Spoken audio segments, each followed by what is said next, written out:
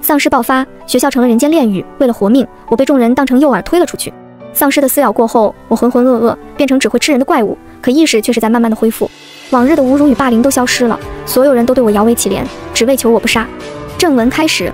九月二日，丧尸爆发第三天，体育器材室大门紧闭，通过窗帘缝隙透出一丝光线，才能分辨出现在是白天。整个器材室连同我在内，一共九个人，都已经是饥肠辘辘、口干舌燥，但没有一个人敢走出去，甚至连动都不敢动一下。因为害怕被丧尸发现，外面已经宛如人间炼狱一般，时不时传来一两声惨叫，似乎又有新的幸存者遭了殃。我蜷缩在角落，浑身上下忍不住颤抖，脸上还带着干涸的血迹，我太疼了。丧尸爆发前，我被其余八个人带到这个隐蔽的器材室毒打一顿，奄奄一息，没有人理会我。班上的同学一直骂我是废物，往常都以欺负我为乐，更别提现在了。能不能能不能给我一点水？我实在是扛不住了，意识渐渐模糊，虚弱地问道。你还想喝水？如果不是你这个倒霉蛋，我们能被困在这里？一个男生抬手给了我一巴掌，打完又后悔了，不是后悔打我，而是怕动静把丧尸引来。他叫李海，看上去比较瘦弱，戴着金丝眼睛，如同一个文弱书生一般。但千万别被他的表象所迷惑，他是班上甚至全校有名的富二代，性格高傲，目中无人。也是他最先纠结一批人，以欺负我为乐。用他的话来说，我一个乡里来的野小子被他欺负，我应该感到荣幸。因为他每次打完我，总会扔几张红色的钞票在我面前，还必须逼着我给他说谢谢。海哥，我们现在该怎么办？一个高大的男生小心翼翼凑了上来，他是李海的头号跟班，黄龙是个武术特长生。其他几个人此时也是纷纷将目光投向李海，这些人都是李海仗着自己富二代的身为笼络来的一群不良学生。李海趴在窗前，小心翼翼地扫视了一番周围，然后开口说道：“我们得逃出去，一直待在这里，不被丧尸吃掉，也得被饿死。”其他人点了点头，表示赞同，却又都犯起了难。我们所在的器材室在二楼走廊中间，左右两边各有一个楼梯。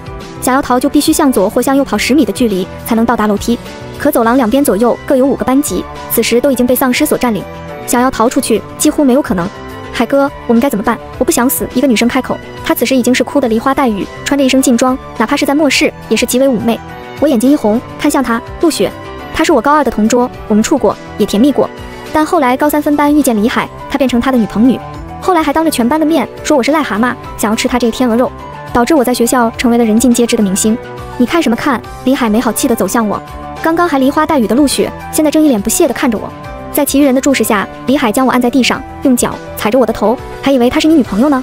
你个癞蛤蟆也配有女朋友？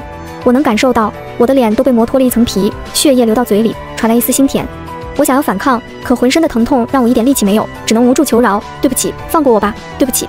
我瘦瘦高高，身体又弱，加上现在又受了重伤，根本不可能是李海的对手。他一把扯起我的头发，看着其他几人，忽然提议：“我们可以让苏晨当诱饵，引开外面那些丧尸，就可以逃出去了。”李海的提议瞬间得到了其他几人的支持。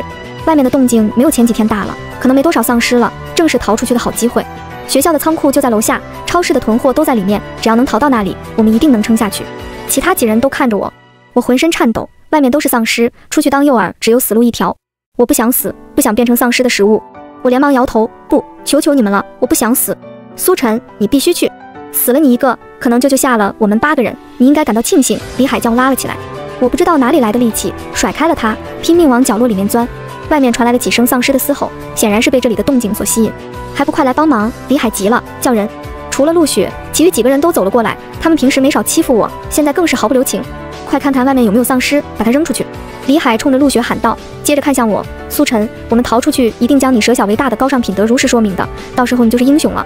我不要，我不要做英雄。我疯狂摇头，但被他们死命压住，根本无法反抗。这些人的脸上带着对生的渴望，根本就不理会我的话。外面似乎没有丧尸了，快点，一会儿丧尸来了。陆雪催促。李海让一个人凑到窗户边，再次确认。黄龙小心翼翼地来到窗边，打开一条缝。确认没有丧尸，对着李海比了个 OK 的手势，轻手轻脚地将窗户慢慢打开。李海几人将我压到了窗边，抬起我往外丢去。无论我怎么求饶，他们都不肯放过我。我滚到了走廊上，摔下来的瞬间，便能听到不远处传来了几声丧尸的嘶吼，显然已经注意到了我。李海几人立马关上了窗，全部趴在地上。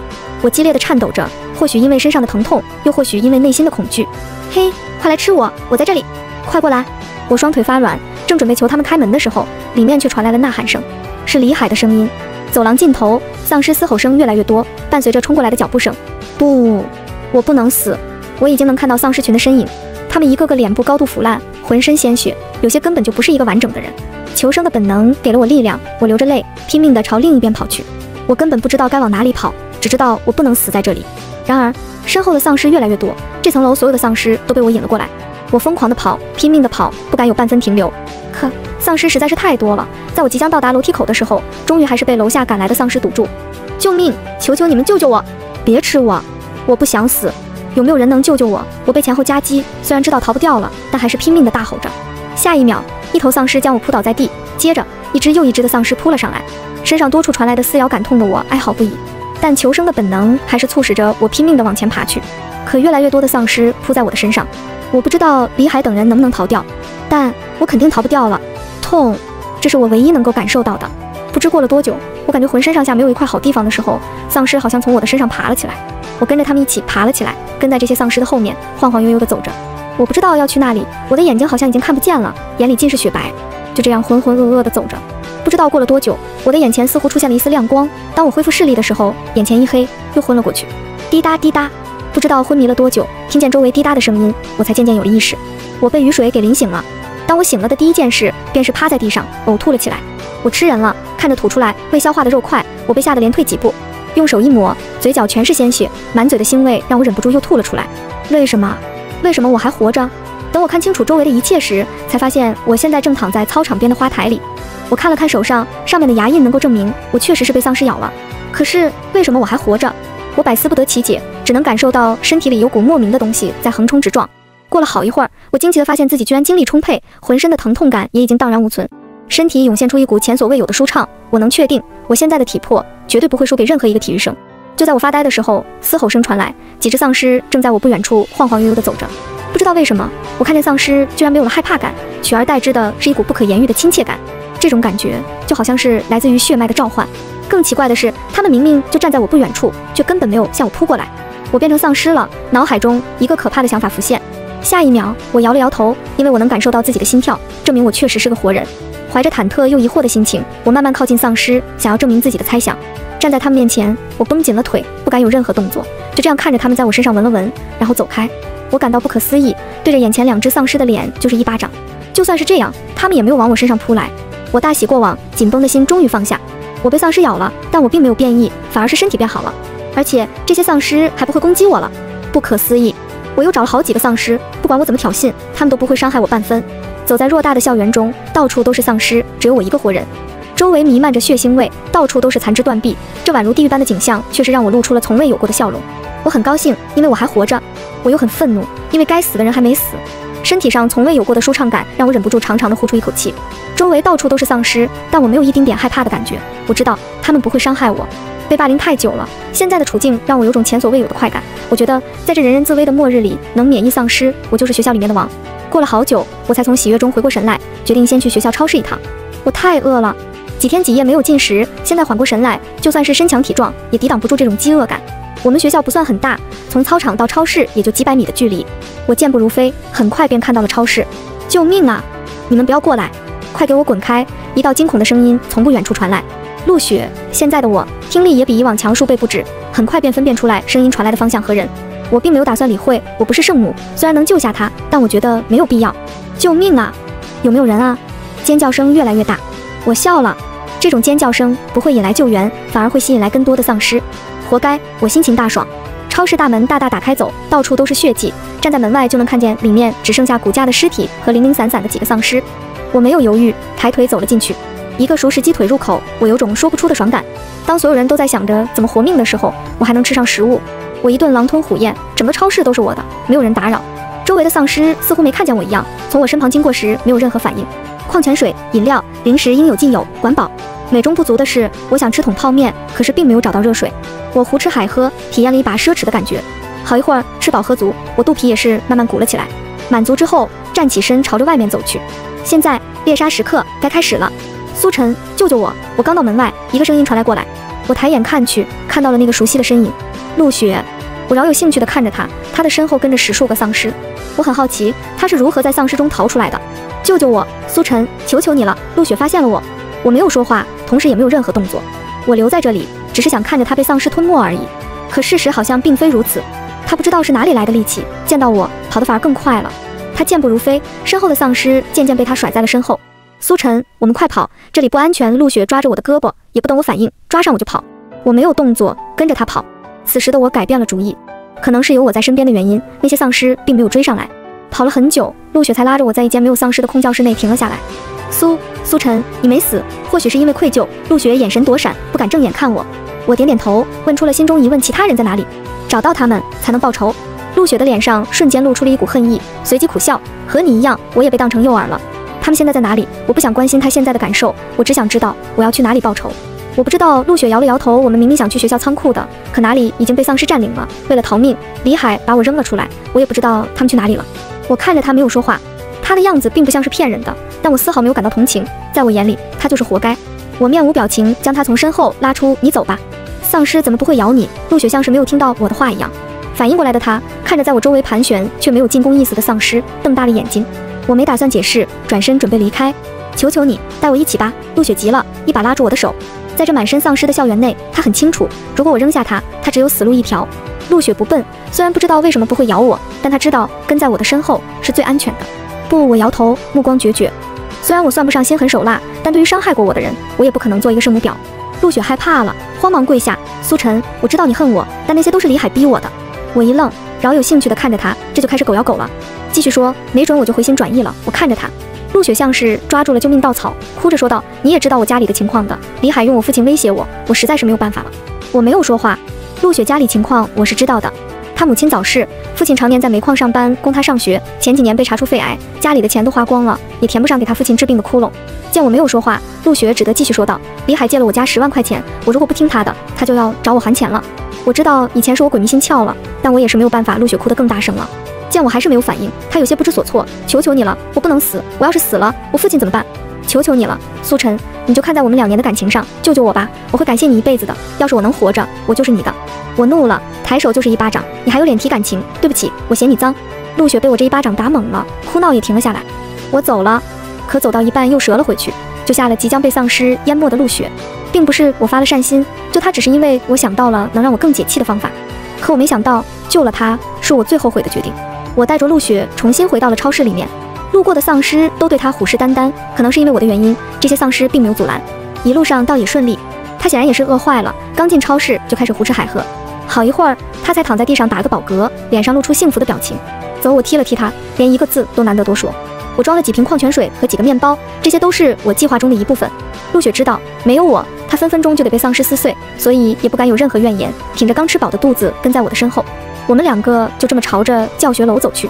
我们学校虽然算不上很大，但也是拥有一个足球场和五个篮球场的。想要找一个人不算简单，但我并不着急，我有的是时间，而且这种猫捉老鼠的游戏反而让我更加兴奋了。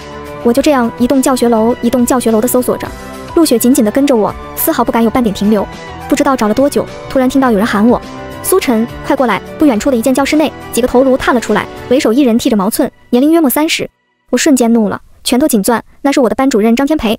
我遭受霸凌的时候，不知道向他求助了多少次，他对我都是不管不顾，甚至还跟我说为什么他们不欺负别人，只欺负你，让我去找自身的原因。后来我才知道。他的那辆价值好几万的摩托车是李海家送的，这我都能忍，但他间接害死了我父亲，罪不可赦。上次班里一千多块钱的班费丢了，找不到凶手，他硬拉着我让我承认。我哭着给我爸打了电话，我爸知道后一着急，从工地上十八层楼摔了下来，再也没醒过来。我是我父亲捡的，我父亲没有文化，和我一样时时刻刻被人欺负。他省吃俭用，衣服穿了三年，说什么也不肯买件新的，可却会义无反顾地拿出三个月的工资给我交补课费，可却因为一次污蔑把命都给丢了。苏晨，你聋了吗？快过来！班主任加大了声音，又忙四处观察了一下，见没有丧尸围过来，他才放了心。我面无表情地走了过去，这才发现其余的几个可都是我的熟人，语文、数学、英语老师，他们同样收了李海的钱，平日里就算是看见我被欺负，也是绕着走。冤家路窄，就拿你们几个开启我的复仇之路吧。我刚靠近，班主任兴奋地看着我手中的袋子，食物，快给我！他命令般地说道，说着便向我抓来。我躲开了。班主任一愣，你这是什么意思？你敢不听我的话，信不信我把你从班上赶出去？我冷眼看着他，没有说话。都到这时了，他居然还没摆正自己的位置。既然如此，我就教教你什么叫血债血偿。快给我拿来！班主任又上前来抢。这次我没有躲，任由他躲着我手上的食物。其他几个老师见到又吃的，皆是犹如饿虎扑食一般冲了上去争夺起来，哪还有平时那股高高在上的气势？现在的他们就像是一群饿久了的野狗，为了一口吃的可以大打出手。这是我的，给我。张传培，你别太过分了，快给我拿来！现场混乱不堪，我带的东西本来就不多，也就够两个人吃的。为了这点少的可怜的食物，几个老师你一拳我一脚，谁也不肯放弃。几瓶矿泉水和面包不一会儿就被抢完了。李传培平日里仗着班主任的身份，根本就没把其他几位科任老师放在眼里，如今却是混到只喝上了一口水，没吃够。我咧嘴一笑，班主任当即吞了吞口水，也顾不得身上的疼痛。当然，你们呢？我又看向其他几人，同样也是疯狂点头。我满意的看着他们，犹如正在看着待宰的羔羊。班主任大怒，看什么看？快把你身上的东西都拿出来！急什么？我耸耸肩，我知道一个地方食物充足，没有丧尸，但是我只能带三个人去。我很善良。几人面面相觑，不知道我是什么意思。我笑了笑得很疯狂。我和李传培的恩怨，想必你们也知道，不用我多说了吧？班主任大惊失色，愤怒地盯着我。苏晨，你疯了吗？你不得好死！你会先死！我没有生气，看向其他几个老师。我耐心有限，不要想着威胁我。那个地方没有我，你们谁也去不了。其他几个老师一听，明白了我的意思。对不起了，你就在这里好好待着吧。英语老师率先开口，其余两个老师也是同时反应过来，扑向李传培。三人合力，不一会儿就将李传培给绑了起来。我目睹这一切，没有任何反应。果然，在生死面前，人性算得了什么？不再多说，我转身就走。三个老师也悻悻地跟在我的身后，他们别无选择。出了门，我走在最后面，故意将绑着张传培的房间打开。其余几个老师，包括陆雪，都知道我想干什么，但都没有阻止。他们不敢。我已经看见远方正有几只丧尸正在朝这里走来。我带着其他几个老师来到了超市。其实我并没有骗他们，这里的丧尸已经走得差不多了，相当于其他地方还算比较安全，还有充足的食物。我只想报仇。对于这种跟我并没有深仇大恨的人，死活就看天意了。我将他们扔在了超市，自己则是拿着塑料袋重新装上一点食物。陆雪并没有选择跟这几个老师在一起，跟着我走出了超市。刚走没一会，拥有强大听力的我便听见超市内传来一阵惊恐求救声。看来老天都不想让他们活。我提着食物朝最后一栋没有搜寻的教学楼走去。教学楼静悄悄的，只有丧尸的吼叫声。我不知道学校还有多少幸存者，我也不关心。我只想要找到那几个将我扔出来的人。我走着。一阵丧尸的吼叫声吸引了我，十余个丧尸正朝着那最后一栋教学楼的某处跑去。我跟在他们的身后，正好听见其中一个教室厉害恶毒的声音传出：“快把张平扔出去！”张平厉害跟班之一，也是除了黄龙最忠实的狗腿子之一。不要啊，海哥，我一直很听你话，求求你了！张平被吓得嚎啕大哭。你怕什么？你跑快点，丧尸就追不上你，到时候我们会来救你的。黄龙着急地吼道。还有几个人也纷纷附和道：“正是那几个把我扔出来的同伙。”别犹豫了，快点，不然都得死！一道粗狂的男声让我拳头一紧。张传培，他居然还没死！在我愤怒的同时，那被称为张平的人已经被推到了窗边，仅差一点就与丧尸亲密接触了。吼！我鬼使神差的吼了一声，就是这一声，让原本疯狂冲向那一间教室的丧尸停下了脚步。我有些惊讶，他们居然听从我的命令。我快步走到那间教室的门口，害了我的这些人，如果只是让他们被丧尸咬死，那不是太便宜他们了？所有丧尸看见我都退到了一边，原本吵闹的教学楼瞬间安静了下来。屋里的人也懵了，不清楚什么状况。丧尸好像走了，黄龙不确定地说道。李海不敢冒险，还是将张平推出了窗，正好摔在我的面前。挺热闹啊！我笑看着他。张平吓了一跳，颤颤巍巍地指着我，瞳孔猛地放大。苏晨，你你，我怎么还没死？我笑得更开心了，没有回答他，一脚踹开了门。屋里的人都被吓了一跳，看见是我，所有人都是目瞪口呆。苏晨。你不是被咬了吗？李海探头看我，惊呆了。黄龙几人也看着我，一时间教室里气氛有些压抑，尤其是张传培。此时的他看着我，眼中满是怒火。我要杀了你！我呵呵一笑，咬我那几个丧尸没牙，我侥幸逃过一劫。我这理由很假，但他们不信也得信。我又看向张传培，张老师倒是福大命大，居然还活着。听到这话，他更加愤怒了，犹如一头发怒的公牛，朝着我冲了过来。我没有废话，对着他就是一脚踢出。现在的我，不论是身体素质还是搏击能力，都远超常人。在我这一脚下，体重一百三斤、身高一米七八的张传培也只能倒飞而出，躺在地上大口的吐着鲜血。看着其他人惊恐的眼神，我笑了笑得很开心。这就是我想要的感觉。曾经那些高高在上、恃强凌弱的人，终归是要付出代价的。尖叫声四起，教室里的其他人都被吓得不轻。李海惊愕的看来，他不敢相信，以前软弱无能的人，现在居然有这种实力。苏晨，你你，黄龙目瞪口呆，声音都在颤抖。他是练体育的，就算如此，一脚将人喘吐血的实力他没有。嗨嗨咳，张传培捂着胸口，无力地从地上爬了起来。他的胸口已经凹陷下去，不用看都知道，至少断了好几根肋骨。苏晨，你该死！等末日过去，我一定要揭发你的罪行。你和你那该死的老爸一样，都该下地狱。他怒不可遏。我怒了。他说我，我也许还会让他多活几天，但他说我老爸，一刻也不能让他活下去。我目露凶光，走到他的面前，给你一次活下去的机会，跪下磕头。呸！张传培咬着牙，恶狠狠地盯着我：“你敢杀我吗？你敢杀我，这些人都是认证，你也逃脱不掉法律的制裁。法律，我笑了笑，他还在白日做梦。我深吸一口气，缓缓道：“我给过你机会了，仁慈对于你来说看来根本没用。你说什么狗屁话？”张传培怕了，拼命朝后爬去。你们还愣着干什么？快杀了他！杀了他也算是正当防御。老实保你们没事。我冷眼看着已经吓傻的几个人，我和他的私人恩怨，你们也要参与吗？上，都给我上！